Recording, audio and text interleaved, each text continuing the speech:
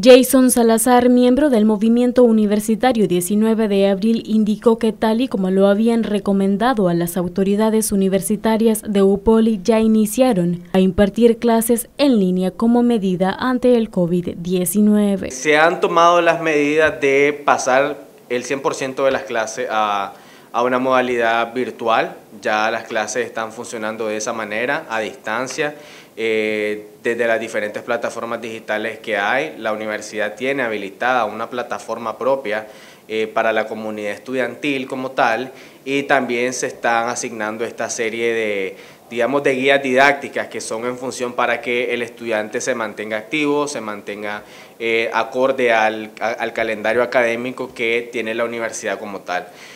fue algo complejo porque en su momento era bien difícil el tema de tomar las medidas, el tema del distanciamiento físico, el tema de las clases de, con una modalidad distinta que las presenciales, pero actualmente se va avanzando en el tema de las medidas. Es un sistema tal vez que hay que mejorar, pero ya se ha avanzado un poco. Salazar reitera la necesidad de que universidades públicas se sumen a impartir clases por dicha vía para evitar la propagación del virus. En cambio hay otras universidades que digamos, reniegan del tema de las modalidades a distancia, del, también del tema de las clases en línea, eh, y lo que proponen es seguir llegando a clase. Hemos visto que esta semana, casualmente, eh, la presidenta de UNEM de la Universidad Nacional de Managua de la UNAM de Managua, eh, sacó unas declaraciones donde ella instaba a los estudiantes a, a, que fueran de forma presencial, el cual la UNAM Managua es una de esas universidades que todavía sigue sin tomar las medidas.